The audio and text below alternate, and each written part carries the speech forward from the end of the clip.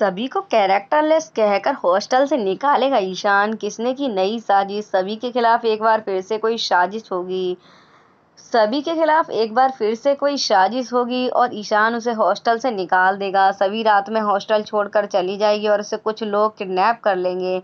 क्या सभी को बचा पाएगा इंसान? है किसी के प्यार में सीरियल में काफ़ी इमोशनल ट्रैक चल रहा है। ईशा अपने बेटे ईशान की कड़वाहट बर्दाश्त नहीं कर पाई और सदमे में चली गई। इसी बीच प्रोमो में दिखाया गया है कि ईशान को कुछ गलतफहमी होगी। वह सभी को कैरेक्टरलेस कहकर हॉस्टल से निकाल देगा।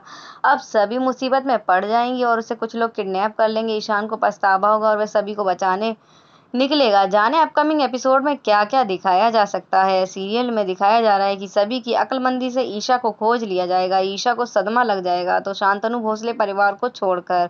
ईशा के साथ रहने का फैसला लेगा। शांतनु ईशान को शर्मिंदा करेगा कि उसने अपनी माँ के साथ बहुत गलत किया। ईशान, ईशा और शांतनु से माफ़ी मांगने पहुंचेगा।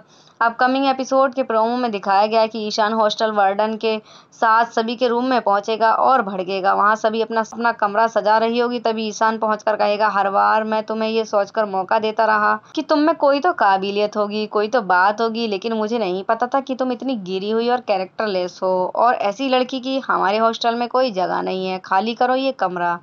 सभी ईशान से कहेगी, अभी तो मैं जा रही हूँ, ले चलेगा तो आप मुझे खुद यहाँ लेकर वापस आएँगे। शांतनु ईशान से कहेगा कि उसने सभी को निकाल दिया। एक अकेली लड़की अनजान शहर में कहाँ जाएगी? इसके बाद दिखाया जाएगा कि सभी के चेहरे पर कोई नकाब डालकर उसको हाथ बांधेगा। ईशान सभी को फ़ोन और कुछ खतरे का आभास होगा। अब दर्शकों का कयास है कि सभी पर घटिया इल्ज़ाम लगाने में आयुष और दूरबा का हाथ हो सकता है।